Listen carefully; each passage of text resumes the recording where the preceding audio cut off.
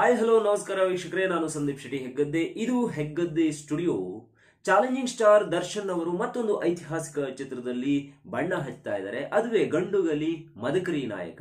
ಚಿತ್ರದುರ್ಗವನ್ನ ಆಳಿರುವಂತಹ ವೀರ ಮದಕರಿ ಎಂದೇ ಹೆಸರಾಗಿರುವಂತಹ ಮದಕರಿ ಮಹಾರಾಜನ ಬಗ್ಗೆ ಇರುವಂತಹ ಒಂದು ಕಥೆಯನ್ನ ಇಟ್ಟುಕೊಂಡು ಈ ಹಿಂದೆ ಸೂರ್ಯಾಸ್ತಮಾನ ಎನ್ನುವಂತಹ ಒಂದು ಕಾದಂಬರಿಯು ಕೂಡ ಬಂತು. ಆ ಕಾದಂಬರಿಯನ್ನ ಇಟ್ಟುಕೊಂಡು ಸ್ಕ್ರೀನ್ ಪ್ಲೇಯನ್ನ ಬದಲಾಯಿಸಿಕೊಂಡು ಅದೇ ರೀತಿಯಾದಂತಹ ಕಾಲಘಟ್ಟದಲ್ಲಿ ಈ ಒಂದು ಚಿತ್ರವನ್ನ ಚಿತ್ರೀಕರಿಸಬೇಕೆಂದುಕೊಂಡು ನಮ್ಮ ರಾಕ್ಲೈನ್ ವೆಂಕಟೇಶ್ ಅವರ ಮುತ್ಸದ್ದಿತನ ಅಂತ ಹೇಳ್ಬೋದು. ಯಾಕಂದ್ರೆ ಆ ಒಂದು ಐತಿಹಾಸಿಕ ಚಿತ್ರಕ್ಕೆ ಅಷ್ಟೊಂದು ದುಡ್ಡು ಹೂಡುವುದಂದ್ರೆ ಸಣ್ಣ ಮಾತಲ್ಲ. ಸೊ ಅಂಥದ್ರಲ್ಲಿ ಆ, ನಿರ್ದೇಶಕರಾಗಿ ರಾಜೇಂದ್ರ ಸಿಂಗ್ ಬಾಬು ಅವರು ಕೂಡ ತಮ್ಮ ಕೈಚಳಕವನ್ನು ತೋರಿಸೋಕೆ ರೆಡಿ ಆಗಿದ್ದಾರೆ. ಈ ಹಿಂದೆ ಸ್ಕ್ರಿಪ್ಟ್ ವರ್ಕ್ಗೆ ಬಹಳಾನೇ ಕೆಲಸವನ್ನು ಮಾಡಿದ್ದಾರೆ. ಸೊ ಸ್ಕ್ರೀನ್ ಪ್ಲೇ ಅಲ್ಲಿ ಅಂದಿನ ಕಾಲಘಟ್ಟವನ್ನು ಯಾವ ರೀತಿ ತೋರಿಸಬಹುದು ಇವತ್ತು ನೈಜವಾಗಿ ಚಿತ್ರೀಕರಣ ಮಾಡಬೇಕು ಅಂದ್ರೆ ಯಾವ ರೀತಿ ಮಾಡಬಹುದು ಮತ್ತೆ ಈ ಚಿತ್ರವನ್ನ ಸಪೋಸ್ ದರ್ಶನ್ ಅವರು ಮಾಡಿಲ್ಲ ಅಂತಿದ್ರೆ ಆ ಪಾತ್ರವನ್ನ ಯಾರು ಮಾಡಬೇಕಿತ್ತು ಆ ಪಾತ್ರ ಮಾಡೋಕೋಸ್ಕರ ಯಾರು ಯಾವಾಗ ಕಾಪಿರೈಟ್ ಅನ್ನ ತೆಗೆದುಕೊಂಡಿದ್ರು ಈ ಎಲ್ಲಾ ಒಂದು ವಿವರಣೆಯನ್ನ ಕೊಡುವಂತಹ ಒಂದು ಪುಟ್ಟ ವಿಡಿಯೋನ ನಿಮ್ಮ ಮುಂದೆ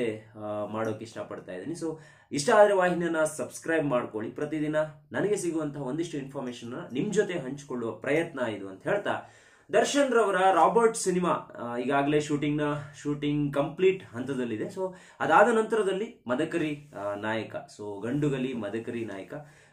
ಈ ಸಿನಿಮಾ ಸೆಟ್ ಇರುತ್ತೆ ಮದಕರಿ ನಾಯಕ ಅಂದ ತಕ್ಷಣ ನಮಗೆ ಚಿತ್ರದುರ್ಗದ ಕೋಟೆ ನೆನಪಾಗುತ್ತೆ. ಚಿತ್ರದುರ್ಗದ ಕೋಟೆಯಲ್ಲಿ ಆತನ ಆಳ್ವಿಕೆ ಯಾವ ರೀತಿ ಇತ್ತು, ಅದು ಎಷ್ಟು ರಾಜ ವೈಭೋಗದಿಂದ ಇತ್ತು ಅನ್ನೋದು ಎಲ್ಲವೂ ಕೂಡ ಗೊತ್ತಾಗುತ್ತೆ. ಆದರೆ ಇಂದಿನ ಕಾಲಘಟ್ಟಕ್ಕೆ ನಾವು ನೋಡೋದಾದ್ರೆ ಅದನ್ನು ಅಷ್ಟು ಈಸಿಯಾಗಿ ಚಿತ್ರೀಕರಿಸೋಕೆ ಸಾಧ್ಯ ಇಲ್ಲ.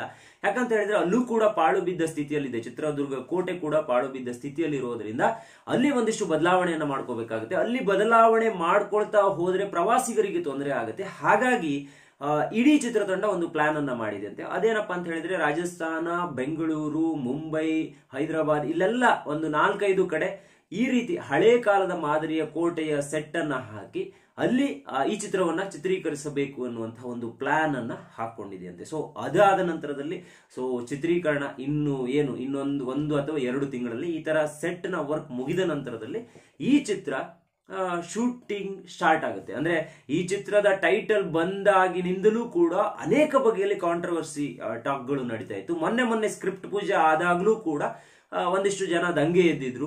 ಈ ಪಾತ್ರವನ್ನ ಸುದೀಪ್ ಅವರು ಮಾಡಬೇಕಿತ್ತು ಅಂತ ಅನೇಕರು ಹೇಳಿದ್ರೆ, ಇನ್ನು ಬೇರೆ ಬೇರೆ ಗೊಂದಲಗಳಿತ್ತು. ಅಂದ್ರೆ ದರ್ಶನ್ರವರು ಸಂಗೊಳ್ಳಿ ರಾಯಣ್ಣ ಸಿನಿಮಾ ಮಾಡಿದ ನಂತರದಲ್ಲಿ ಕುರುಕ್ಷೇತ್ರ ಚಿತ್ರ ಆದ ನಂತರದಲ್ಲಿ ಈ ಸಿನಿಮಾವನ್ನು ಒಪ್ಕೊಂತಿದ್ದಾರೆ. ಅವರು ಹೇಳೋ ಪ್ರಕಾರ ನನಗೆ ಐತಿಹಾಸಿಕ ಚಿತ್ರ ಮಾಡೋಕೆ ಇಷ್ಟ. ಸೊ ಹಾಗಾಗಿ ಆ ಚಿತ್ರಕ್ಕೆ ನಾನು ಮೊದಲನೆಯ ಪ್ರಾಧಾನ್ಯತೆಯನ್ನ ಕೊಡ್ತೀನಿ ಅಂತ ಅವರು ಕೂಡ ಹೇಳಿದ್ದಾರೆ. ಸೊ ದರ್ಶನ್ ರವರಿಗೆ ಈ ಪಾತ್ರ ಒಪ್ಪುತ್ತೆ ಅಂತ ನನ್ನ ಅನಿಸಿಕೆ. ಯಾಕಂತ ಹೇಳಿದ್ರೆ, ಆ, ಹಿಂದಿನ ಐತಿಹಾಸಿಕ ಚಿತ್ರದಲ್ಲಿ ಡೈಲಾಗ್ ಡೆಲಿವರಿ ಮಾಡುವ ಒಂದು ಒಂದು ಒಂದು ಟ್ಯಾಲೆಂಟ್ ವಿಭಿನ್ನತೆ ಅದು. ಸೊ ಅದು ದರ್ಶನ್ಗಿದೆ ಅಂತ ನನಗನ್ಸುತ್ತೆ ದರ್ಶನ್ ರವರಿಗೆ ಆ ಒಂದು ಟ್ಯಾಲೆಂಟ್ ಇದೆ. ಯಾಕಂದ್ರೆ ಕುರುಕ್ಷೇತ್ರದಲ್ಲಿ ಪುಟಗಟ್ಟಲೆ ಡೈಲಾಗ್ ಅನ್ನ ಹೊಡೆದಿದ್ದಾರೆ.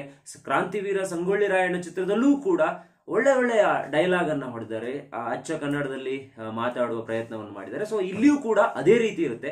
ಈ ಚಿತ್ರ ಕೇವಲ ಕನ್ನಡದಲ್ಲಿ ಮಾತ್ರ ಅಲ್ಲ ತಮಿಳು ತೆಲುಗು ಹಿಂದಿಗೂ ಕೂಡ ಡಬ್ ಆಗುತ್ತೆ ಅಂತ ನಿರ್ಮಾಪಕರು ಹೇಳಿದ್ದಾರೆ. ಸೊ ನಾಲ್ಕು ಭಾಷೆ ಅಂದ್ರೆ ಮಲಯಾಳಮನ್ನ ಬಿಟ್ಟು ಹೇಳಿದ್ದಾರೆ. ನಾಲ್ಕು ಭಾಷೆಯ ನಾಲ್ಕು ಭಾಷೆಯಲ್ಲಿ ಈ ಸಿನಿಮಾ ರಿಲೀಸ್ ಆಗುತ್ತೆ ಏಕಕಾಲದಲ್ಲಿ ಅಂತ ಹೇಳಿದ್ದಾರೆ.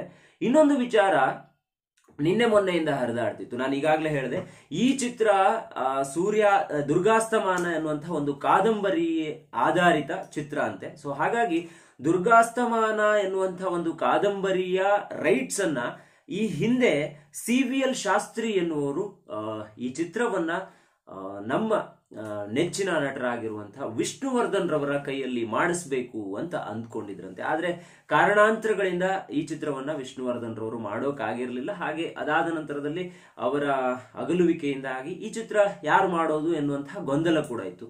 ಬಹುಶಃ ಈ ಚಿತ್ರವನ್ನ ನನಗೆ ಅನ್ಸೋ ಮಟ್ಟಿಗೆ ವಿಷ್ಣುವರ್ಧನ್ ರವರು ಮಾಡಿದ್ರೆ ಅದೆಷ್ಟು ಜನ ನೋಡ್ತಿದ್ರು ಅದೆಷ್ಟು ಜನ ಖುಷಿ ಪಡ್ತಾ ಇದ್ರು. ಇವತ್ತು ವಿಷ್ಣುವರ್ಧನ್ ರವರು ನಮ್ಮ ಜೊತೆಗೆ ಇದ್ದಿದ್ರೆ ನಾಲ್ಕೈದು ಭಾಷೆಯಲ್ಲಿ ಅವ್ರ ಚಿತ್ರ ರಿಲೀಸ್ ಆಗುತ್ತೆ ಅಂತ ನಾವೇನಾದ್ರೂ ನೋಡುವ ಭಾಗ್ಯ ಪಡ್ಕೊಂಡಿದ್ದಿದ್ರೆ ಬಹುಶಃ ಎಲ್ಲಾ ಭಾಷೆಯ ಜನರು ಕೂಡ ಮಾಸ್ ಹಿಟ್ ಮಾಡ್ತಿದ್ರೇನು ಆ ಸಿನಿಮಾ ನಮ್ಮ ಬಹುಶಃ ಅವ್ರಿಗೆ ನಮ್ಗೆ ಆ ಒಂದು ಸೌಭಾಗ್ಯ ಇಲ್ಲ ಅನ್ಸುತ್ತೆ.